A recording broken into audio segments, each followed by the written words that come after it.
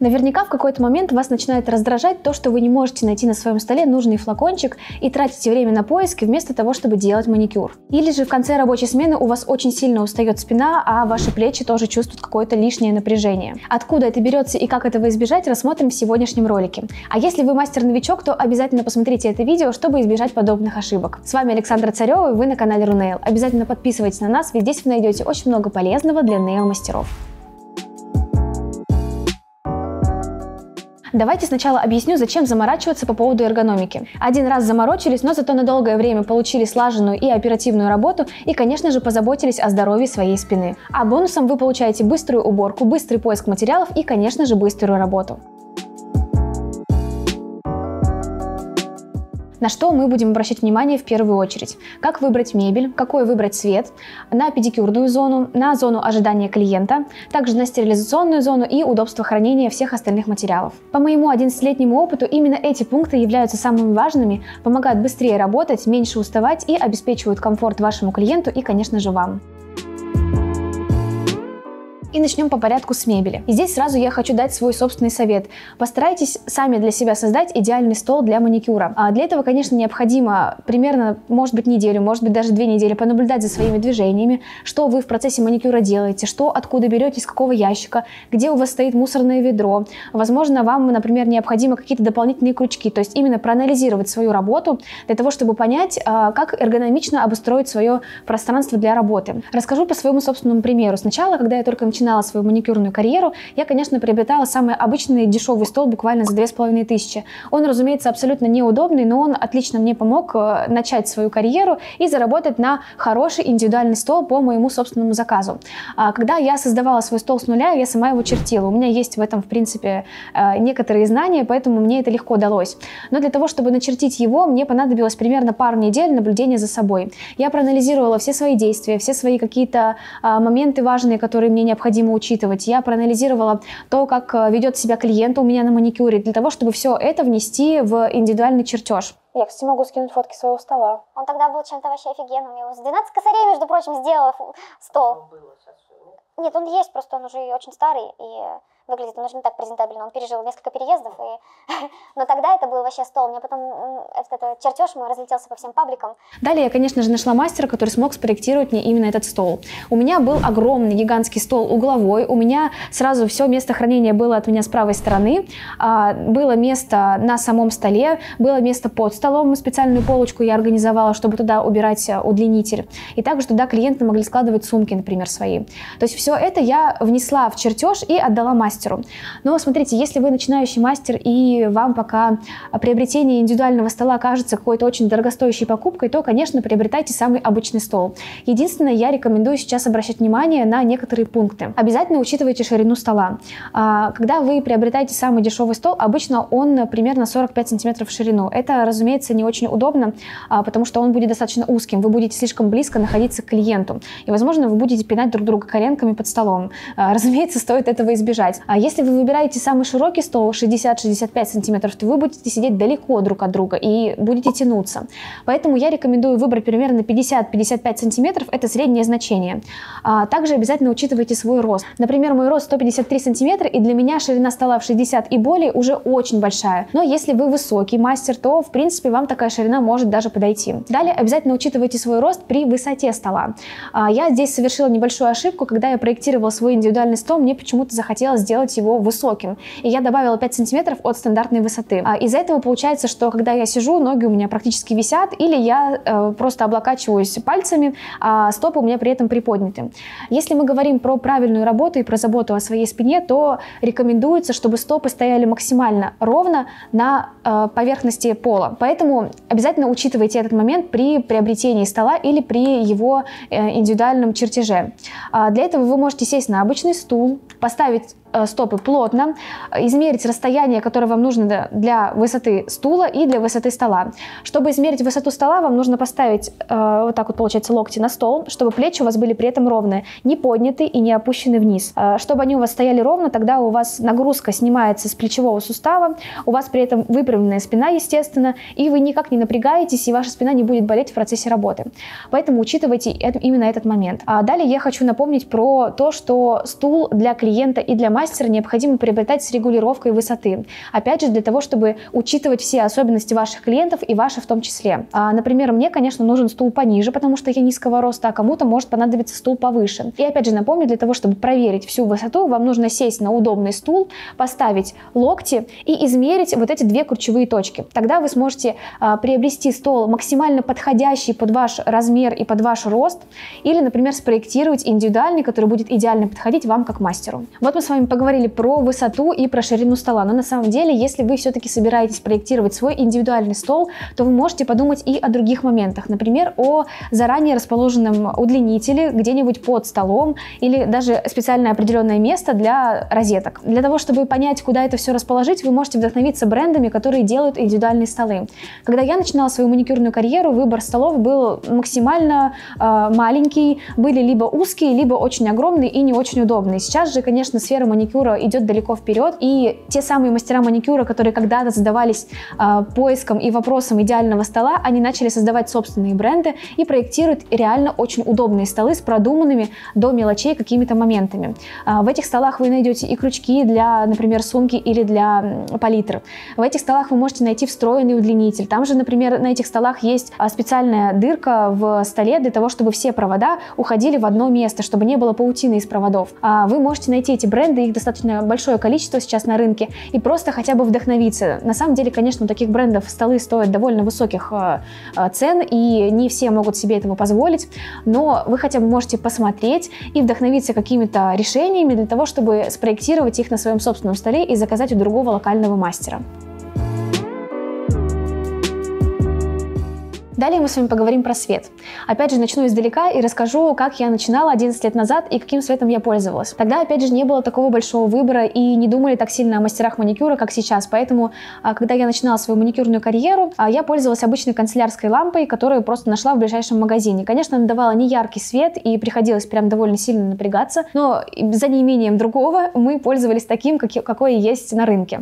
А сейчас же выбор ламп довольно огромный. Вы можете покупать, например, стандартные круглые лампы, лампы. Раньше они были популярны в бренде IKEA. Сейчас такие лампы проектируют и в локальных брендах, и в том же Leroy вы можете приобрести такую же лампу. Обычная круглая лампа с круглым плафоном и круглой лампочкой дает отличный блик, и мастера, в принципе, прекрасно справляются с работой такой лампы Блин, у меня такая мысль была, сейчас ее потеряла.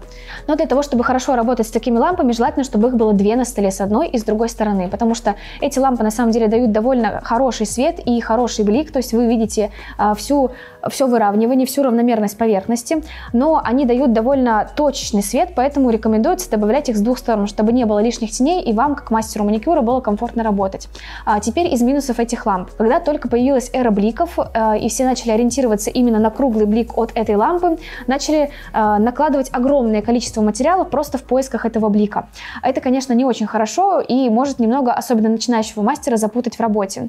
А еще один минус этих ламп в том, что они стоят довольно близко и на уровне глаз. То есть э, вы просто иногда не видите клиента, иногда приходится наклоняться, и это отвлекает от работы. А сейчас э, в нынешнее время существуют специальные бестеневые лампы. Они довольно тонкие, они вот такие вытянутые и длинные. Они не дают теней, они иде дают идеальный рассеянный блик а, и позволяют мастерам мастерам делать довольно тонкие ногти, при этом контролировать а, количество материала, которое вы накладываете на ноготь. А, рекомендую, в принципе, пользоваться такими лампами, но, опять же, если вы не можете такую приобрести, покупайте просто две круглые стандартные лампы. Далее поговорим про хранение материалов. А, разумеется, то, чем вы чаще всего пользуетесь, желательно, чтобы располагалось у вас прямо на расстоянии вытянутой руки. То есть это те же базы, топы, какие-то подготовительные жидкости, обезжириватели, безворсовые салфетки, одноразовая а, продукция такая, как шапочки, маски, перчатки, пилочки, бафики и так далее. Все это должно лежать у вас под рукой, чтобы вы могли, не тратя лишнего времени на поиск материалов, просто достать из а, ближайшего ящика и поставить сразу на стол. Туда же вы можете положить и кисти для работы, и все остальное, чем вы пользуетесь именно постоянно. А, для этого я и говорю, что необходимо проанализировать всю свою работу. Но, конечно, мастера маникюра на самом деле те самые мастера, у которых обычно весь кабинет забит кучей материалов, потому что мы никогда не знаем, что нам может пригодиться в работе. У нас обязательно есть куча ящиков с блесточками, слайдерами, стемпингом и всем остальным. У нас есть огромное количество цветников, и мы их постоянно обновляем. И, разумеется, все это мы не можем расположить рядом с собой, потому что тогда мы просто будем окружены одними ящиками и полками. Поэтому для таких вот Э, материалов, которые используются не постоянно, рекомендуется приобрести дополнительный комод, который будет стоять недалеко от вас, к которому вы просто можете пойти, но там при этом нужно организовать точно такое же адекватное, хорошее хранение материалов. Для этого вы можете приобрести специальные комоды. Опять спасибо всем э, мастерам маникюра, которые позаботились о нас, а, о современных мастерах маникюра и создали специальные комоды с узкими ящиками для хранения гель-лаков. Когда я только начинала, продавались обычные комоды со стандартной шириной примерно в 30-40 сантиметров, и, соответственно, половина этого пространства в ящике просто было занято воздухом. А сейчас же вы можете приобрести по высоте стандартный комод, например, 60 сантиметров, но при этом там будет не 3 ящика, а, например, 6. И тогда хранение у вас, конечно же, увеличивается, и вы можете расположить так, как удобно вам, например, по брендам расположить гель-лаки или по цветам, или присвоить им какие-то индивидуальные номера и подписать их на палитре. Все сделать для того, чтобы вам было удобно и быстро искать материал. Обязательно позаботьтесь об организации стерилизационного места. Для этого, конечно, вы можете приобрести специальный комод, который, на который поставите сверху сухожар, но я рекомендую еще воспользоваться стеной и использовать место по максимуму. Для этого существуют специальные перфорированные панели, в которые вы можете э, вставлять какие-то корзинки для хранения, какие-то крючочки. Вы можете при этом выбирать размеры крючков и размеры корзинок, абсолютно которые вам понадобятся. То есть вы можете позаботиться о своем удобстве, при этом организовать именно идеально подходящую для вас э, специальную перфорированную панель. Туда вы можете поставить корзинки для хранения крафт-пакетов. Туда вы можете поставить корзинки для уже простерилизованных крафт-пакетов. А там же вы можете организовать какую-нибудь, например, перекладину для того, чтобы повесить на нее дезинфицирующие средства или поставить. То есть просто подумайте о том, а, что вы можете на нее повесить, что вы можете в нее вложить, для того, чтобы она занимала место только на стене, а не на самом комоде. Это, конечно, поможет и в организации хранения, и в удобстве, а, и в свободе передвижения. Если вы мастер, который делает педикюр, также необходимо организовать именно педикюрное место. Помимо самого педикюрного кресла, вам необходима тележка, и я рекомендую сразу подумать о том, куда вы будете крепить лампу для света. Чаще всего педикюрные тележки, особенно старого образца, они не предназначены для прикрепления струбцины, на которой будет стоять лампа. Поэтому обязательно подумайте об этом, куда вы будете ставить лампу. Возможно, она у вас будет с дополнительной стойкой, то есть та, которая будет э, свободно передвигаться по полу, а не вместе с тележкой. Просто, опять же, вам необходимо проанализировать свою работу, работу и понять, как вам будет удобнее а, крепить цвет и куда его будете крепить. Также, конечно, возле педикюрной зоны обязательно поставьте мусорное ведро и вообще я рекомендую поставить несколько мусорных ведер, чтобы не бегать от одного места к другому для того, чтобы выбросить мусор. Обязательно мусорное ведро должно быть возле маникюрного стола, возле педикюрного места, возле зоны ожидания клиента и возле стерилизационного оборудования. Я специально оставила этот пункт самым последним, потому что это в целом не обязательно, но это добавляет большого удобства и вам, и вашему клиенту. Организация вашего кабинета в целом. А, что я имею в виду? Мы сейчас разобрали с вами отдельные какие-то пункты, которые помогут вам в работе. Но, конечно, стоит позаботиться и о вашем клиенте и подумать о зоне ожидания. Зона ожидания должна быть обязательно оформлена каким-то каким местом для сидения. То есть это либо какой-то пуфик, либо небольшое кресло, может быть даже небольшой диванчик. Просто смотрите на э, пространство в вашем кабинете, посмотрите на свободное место и подумайте о том, что вы туда можете поставить. Конечно же, должна быть вешалка для хранения вещей клиента, а какая-то, возможно, подставка для сумки. Это может быть то же самое кресло, где клиент будет хранить свою сумочку. Что еще я там хотела сказать? Ага. Для еще большего удобства вы можете поставить специальный контейнер, в котором будут храниться какие-то необходимые вещи для клиента, например, перед уходом. Туда вы можете поставить а, ролик для одежды, чтобы он смог почистить свою одежду перед выходом. Туда вы можете положить губку для обуви, желательно какого-то универсального цвета или вообще бесцветную. Влажные салфетки, сухие салфетки, какие-то средства индивидуальной личной гигиены, которые тоже необходимы девушкам. Также, если мы говорим про зону ожидания, то обязательно оборудуйте ее зеркалом. Причем зеркало может быть как какое-то красивое, так и самое обычное. Желательно хотя бы какое-то минимальное зеркало, чтобы у вас находилось в кабинете, потому что всем клиентам перед выходом необходимо посмотреться в зеркальце и просто причесаться, поправить прическу, поправить одежду и так далее. Но на самом деле здесь вы можете использовать всякие маркетинговые штучки для того, чтобы сделать ваше зеркало каким-то уникальным, а, например, какой-то необычный дизайн этого зеркала, даже пускай это зеркало будет с обычными лампочками, но если вы туда прикрепите, например, хэштег а, с каким-то вашим индивидуальным ником или ником в ваших социальных сетях, то клиенты, фотографируясь в этом зеркале, будут вас еще и продвигать. Если вы сделаете красивую зону ожидания, то люди, которые увидят эту фотографию в социальных сетях, просто узнают, у кого есть такая зона ожидания. Это может работать как э, классный маркетинговый ход для привлечения новой аудитории.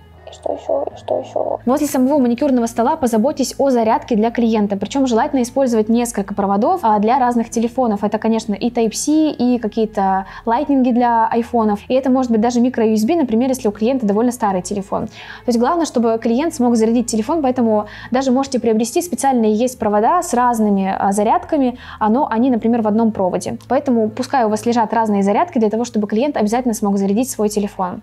А, также, если у вас кабинет оборудован телевизором, вы можете подключить специальную подписку, и клиент, приходя к вам на процедуру, может, например, сам выбирать фильм, который хочет посмотреть, а, и, конечно, это будет его еще больше радовать. Если у вас нет телевизора, то обязательно позаботьтесь хотя бы о музыке. Вы можете приобрести колонку Алиса, которая а, включает любую по запросу вашу музыку. Вы можете, например, и клиенту предлагать включить его любимую музыку или воспользоваться какой-нибудь стандартной волной, какой-нибудь расслабляющей для того, чтобы клиент смог расслабиться у вас на процедуре. Теперь вы знаете все секреты для быстрой и удобной работы. Если мы о чем-то забыли, то обязательно пишите в комментариях и делитесь своим мнением. С вами была Александра Царева, канал Рунейл. Пока-пока.